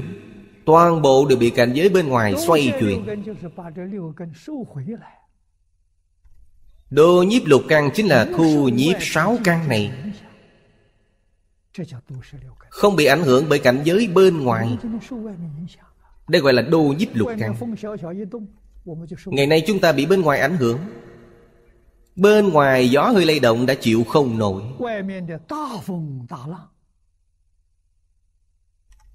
Bên ngoài có sóng to gió lớn. Chúng ta vẫn giữ trạng thái như như bất động. Đây gọi là đô nhiếp lục căng 啊。那么由此可知，都摄六根就是放下外面， Giờ đây có thể biết Đô nhiếp lục căn Nghĩa là buông bỏ dạng duyên 那就是都是六根。 Chính là buông bỏ vọng tưởng phân biệt chấp trước Như vậy là đô nhiếp lục căn Sau đó mới nói đến tịnh niệm 不怀疑就清净， Tịnh là thanh tịnh 不夹杂就清净。 Không hoài nghi là thanh tịnh Không xen tạp là thanh tịnh. Nếu mình hoài nghi, Mà nói tôi không hoài nghi, Không hoài nghi tức thanh tịnh. Không thanh tịnh tức hoài nghi.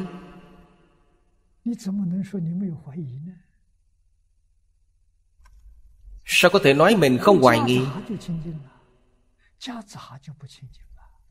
Không xen tạp là thanh tịnh. Xen tạp tức không thanh tịnh.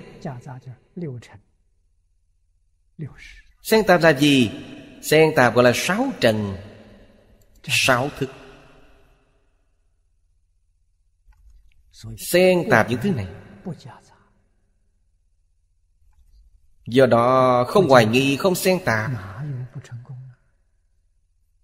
Không gián đoạn Làm gì có chuyện không thành công.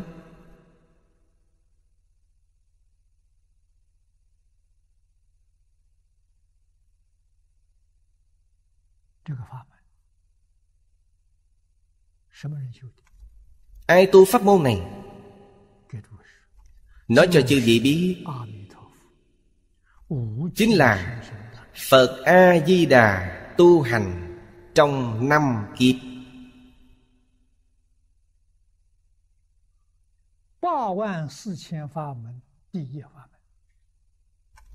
Là pháp môn hàng đầu trong tám dạng bốn ngàn pháp môn.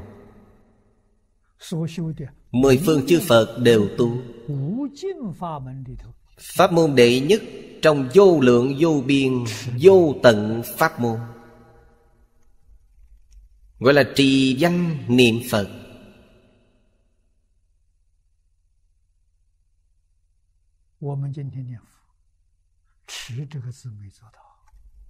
Ngày nay chúng ta niệm Phật Chưa làm được chữ trì.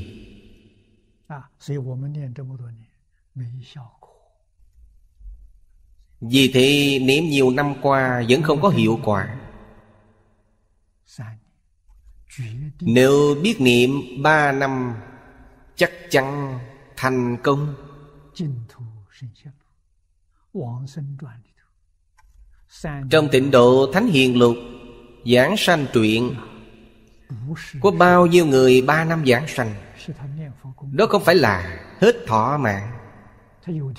Là công phu niệm Phật của họ đã thành tựu. Họ có điều kiện giảng sanh. Không cần thọ mạng nữa.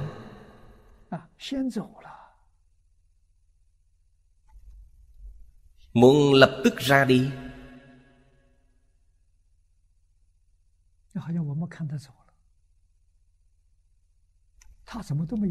Chúng ta thấy họ ra đi 都不留下来教教我。 Sao họ không có tâm từ bi Không lưu lại dạy chúng ta 我们全看错了，全想错了。他走了就是教我们， Chúng ta thấy hoàn toàn sai Nghĩ sai Họ giảng sanh chính là dạy 要我 chúng 们 ta 相信那是真的。 Làm gương cho mọi người Để chúng ta tin đây là thật 啊，后面哎他又来了，他来去 sau đó họ lại quay về đến đi tự tại. Họ lại thị hiện để dạy chúng ta.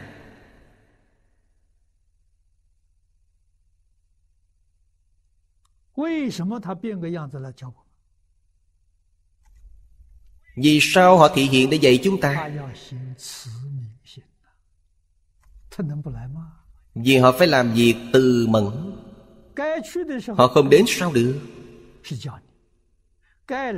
Lúc cần ra đi họ liền đi Đó là dạy người. Khi cần đến họ lại đến Vẫn lại đến để dạy người. Chưa từng gián đoạn.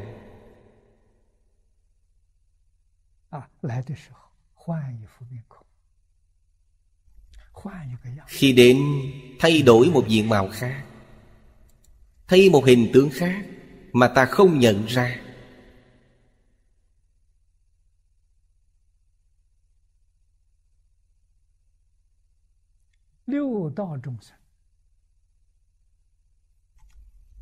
Thực ra lục đạo chúng sanh Người nào Không phải là Phật Bồ Tát Ai không phải là người tái sanh? đều thị hiện ở đây để dạy chúng ta. Vấn đề là gì? Là ta có biết hay không thôi?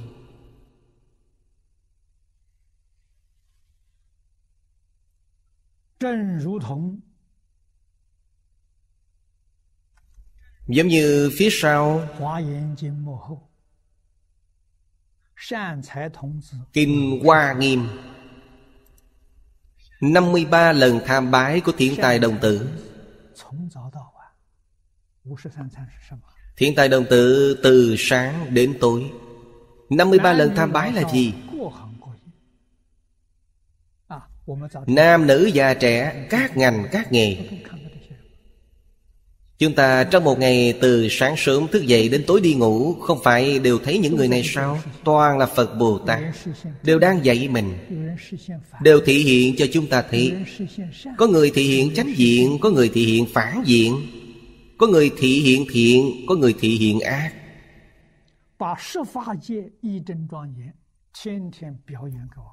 Đem mười pháp giới y chánh trang nghiêm, ngay ngay đều biểu diễn cho mọi người thấy. Đáng tiếc chúng ta hoàn toàn thấy sai. Hiểu sai ý nghĩa. Cho nên chỉ sanh phiền não không sanh trí tuệ. Nếu chúng ta hiểu Họ đều đến để biểu diễn. Họ đến để giúp đỡ Nhắc nhở chúng ta. Ta không sanh phiền não là khai trí huệ. Đối với tất cả chúng sanh Chúng sanh biểu diễn nam, nữ, già, trẻ, các ngành, các nghề Đều ngũ thể đầu địa cung kính cảm ơn. Không phải đã thành Phật rồi sao? Phật Bồ Tát ở đâu? Ở ngay tại đây. Ngay trước mắt. Chưa từng rời xa. Thật sự hiểu được ý nghĩa câu nói này Tất cả đều thành Phật 不是未来，就是当下。 Không phải quá khứ Không phải vị lai Chính là ngay tại đây 所以你说这句话还得还还得了吗？ Quý vị xem câu này không tuyệt vời ư 念老大师这个赞叹，奇哉奇哉，他体会 sự tán thán của niệm lão Tuyệt diệu thay, tuyệt diệu thay, Ông đã lãnh hội được. Nếu không lãnh hội một cách sâu sắc Ông không nói được câu nói này.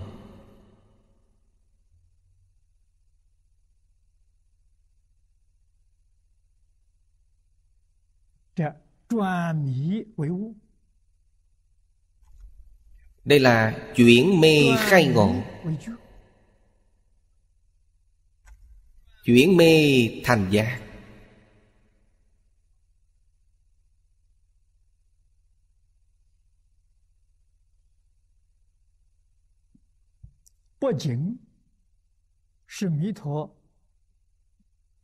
Không chỉ là bản thể 48 nguyện của Phật A Di Đà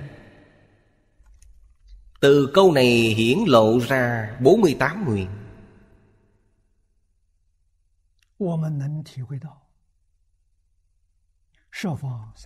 Chúng ta có thể lãnh hội được Tất cả chư Phật trong mười phương ba đời.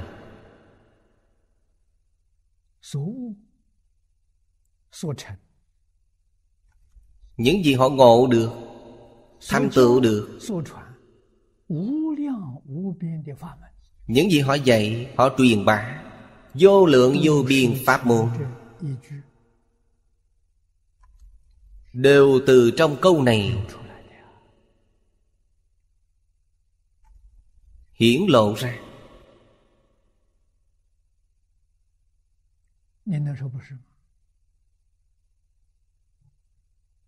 Quý vị có thể nói không phải sao? 无量寿经从这一句流入， Kinh vô lượng thọ 大方广佛 Từ câu này hiển lộ ra 世尊四十九年所 Kinh 说的 Đại Phương Quán Phật Hoa 是 Nghiêm 不是从这里入？ Tất cả kinh điển Đức Thế Tôn nói trong suốt 49 năm Phải chăng đều từ câu này hiển lộ ra Hoàn toàn không sai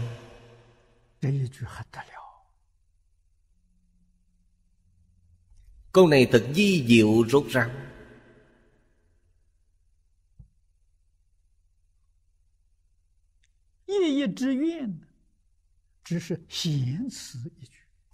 Mỗi một nguyện Cũng chỉ là hiển thị câu này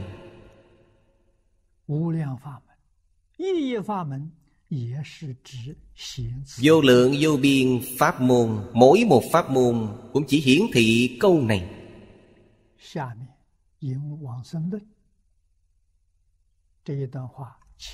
Bên dưới trích dẫn giảng sanh luận. Đoạn này ở trước chúng ta học rất nhiều lần. Giảng sanh luận gọi là ba loại trang nghiêm. Ba loại là quái Phật trang nghiêm Phật trang nghiêm Bồ Tát trang nghiêm ba loại trang nghiêm. cõi phật là đạo tràng. Phật là thầy bồ tát là học sinh. Chúng ta phải hiểu rõ gì thế giới cực lạc thế giới này không có tổ chức chính trị. Không có quốc dương không có đại thần. Cũng không có sĩ nông công thương. Thị giới cực lạc rất đơn thuần. Chỉ có thầy giáo và học sinh. Cho nên từ đây ta lãnh hội được. Khi Đức Phật Thích Ca Mâu Ni còn tại thế Tăng đoàn của Ngài Chính là hình bóng của thế giới cực lạc Không có bất kỳ tổ chức nào. Tuy đệ tử rất nhiều Chúng tôi dự đoán Hàng đệ tử mỗi ngày học tập bên cạnh Đức Phật Thích Ca không dưới 3.000 người. Họ có trật tự không lộn xộn. Cũng không cần sắp hàng Cũng không cần phân thành lớp lớn lớp nhỏ Hay đại đội trưởng, tiểu đội trưởng không có. Toàn bộ đều không. Đều bình đẳng cả. Trật tự của họ rất tự nhiên.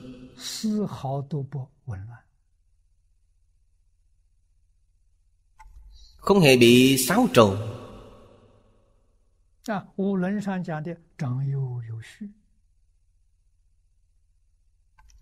trong ngũ luân nói trưởng ấu hữu tự.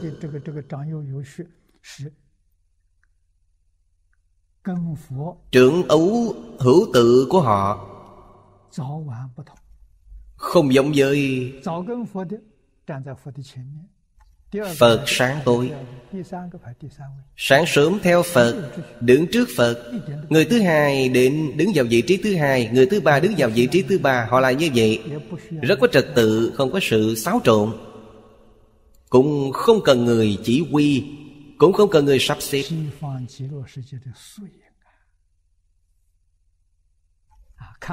hình ảnh thu nhỏ của thế giới cực lạc thấy điều này chúng ta lãnh hội được thế giới cực lạc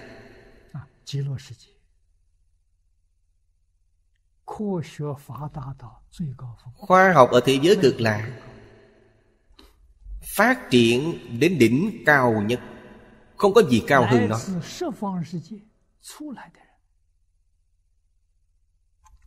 Người mới đến từ khắp mười phương thế giới.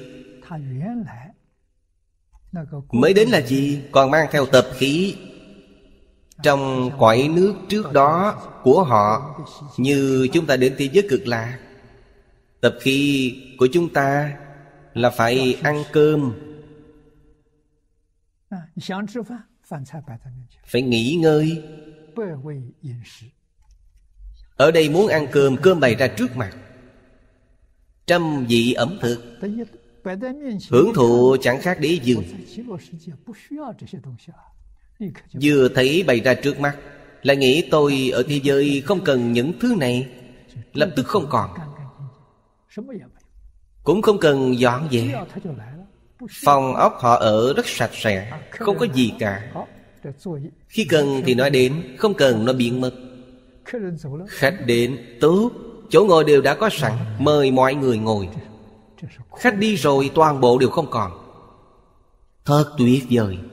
Đây là gì? Đây là khoa học phát triển đến đỉnh cao nhất. Khoa học kỹ thuật ở địa cầu chúng ta thua xa.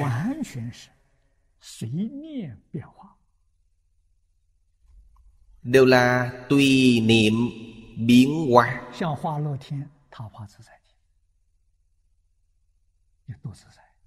Như trời quá lạc Trời tha quá tự tại. Tự tại biết bao.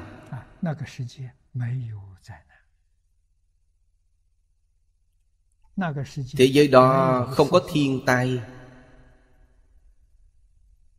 Thế giới đó không có bốn mùa. Không có sự lạnh lẽo của mùa đông cũng không có mùa hè. Bốn mùa hương xuân.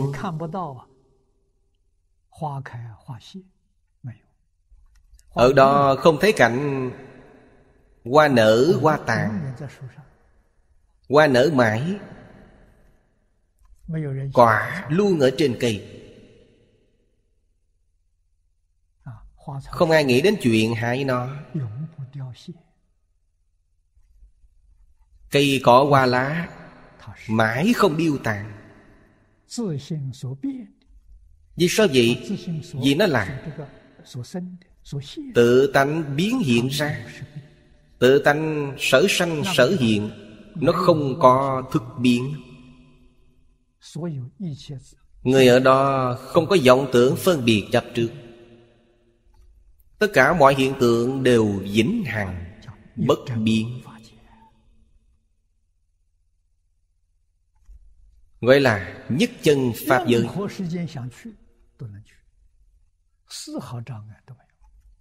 Bất cứ khi nào muốn đi đều có thể đi. Không có gì chướng ngại. chướng ngại là do tâm mình không liên quan đến người nào hay cảnh giới nào. Được đại tự tại. Ba loại trang nghiêm nhập nhất pháp cú. Nhất pháp cú gọi là thanh tịnh cú. Thanh tịnh cú là trí tuệ chân thật vô di pháp thân. Trí tuệ chân thật là gì? Vô di pháp thân là gì? thanh tịnh có hai loại. Cần phải biết hai loại nào. Thứ nhất là khí thế gian thanh tịnh, thứ hai là chúng sanh thế gian thanh tịnh.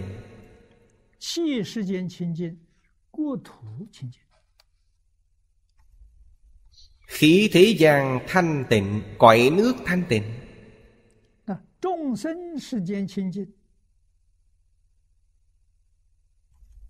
Chúng sanh thế gian thanh tịnh 菩萨清净。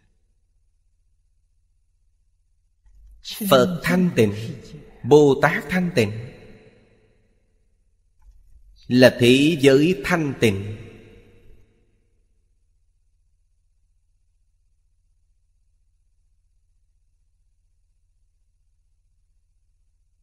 经云：“一切皆成佛，即显此 Kinh này nói Tất cả đều thành Phật. Hiển thị rõ ràng hai loại thanh tịnh này.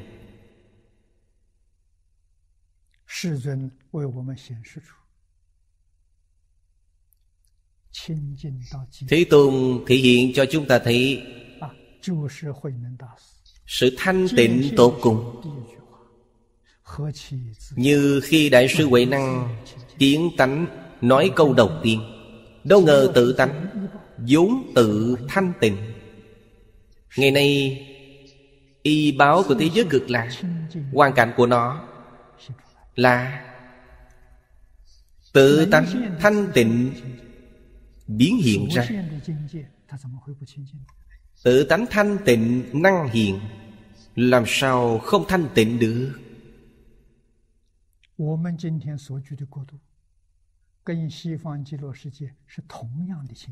Cõi nước ngày nay của chúng ta ở Thanh tịnh giống như thế giới cực lạc? Vì sao lại trở thành như thế này? Đức Phật nói Tất cả Pháp từ tâm tưởng sanh Có người sống trên thế gian này Tâm không thanh tịnh. Tâm không thanh tịnh Biến thế giới này thành không thanh tịnh vấn đề là như vậy.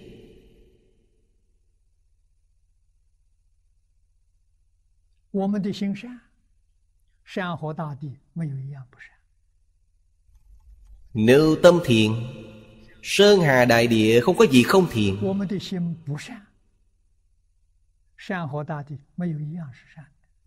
Còn như tâm chúng ta bất thiện Sơn hà đại địa đều bất thiện.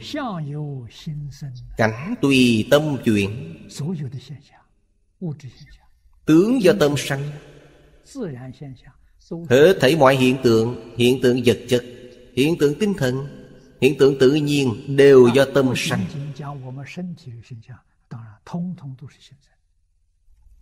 Không chỉ nói đến hình tướng thân thể của chúng ta Đương nhiên tất cả đều do tâm sanh. 心生，种种发生啊；心灭，种种发灭。 Tâm sanh chủng chủng pháp sanh Tâm diệt chủng chủng pháp diệt 弥勒菩萨讲的好 Tâm sanh như thế nào 啊！啊，一弹指 Bồ Tát Di Lạc nói rất hay 啊，一弹指。 Một khẩy móng tay Một khẩy móng tay Thời gian rất ngắn ngủi như thiệt.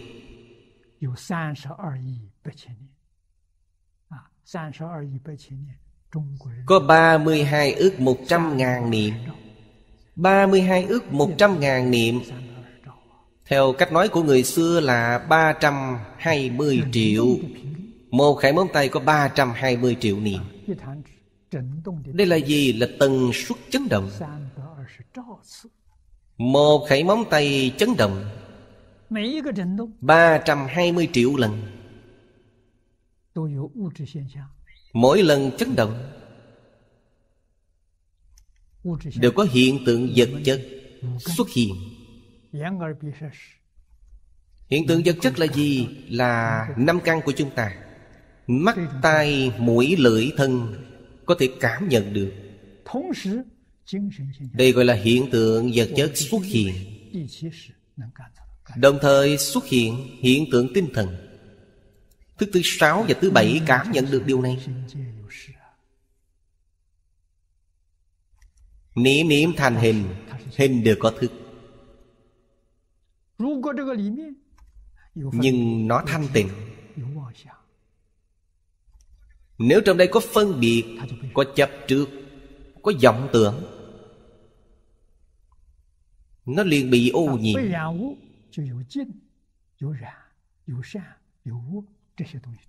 Bị nhiễm ô tức là có nhiễm có tình có thiện có ác.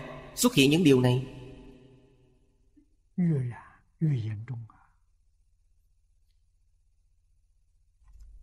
Càng nhiễm càng nghiêm trọng.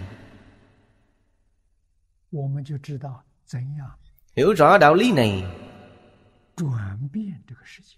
chúng ta biết làm sao? Để chuyển thế giới này. Chúng ta có năng lực để chuyển thế giới ác hiện tại thành thiện. Chuyển nhiễm thành tịnh chăng? Đáp án là khẳng định. Vấn đề là chúng ta có chịu làm hay không? Chịu làm thật sự chuyển được nó.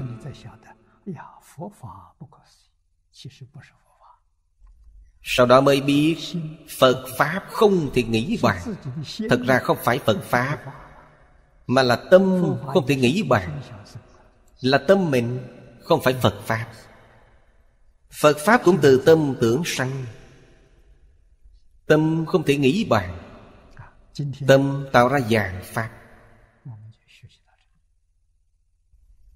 Hết giờ rồi Hôm nay chúng ta học đến đây. Nam Mô A Di Đà Phật. Nguyện đem công đức này Hồi hướng bốn ân và ba cõi. Nguyện khắp Pháp giới các chúng sanh Đồng sanh cực lạc thành Phật đạo. Chúng Phật tử đạo tràng tịnh độ. Nam Mô A Di Đà Phật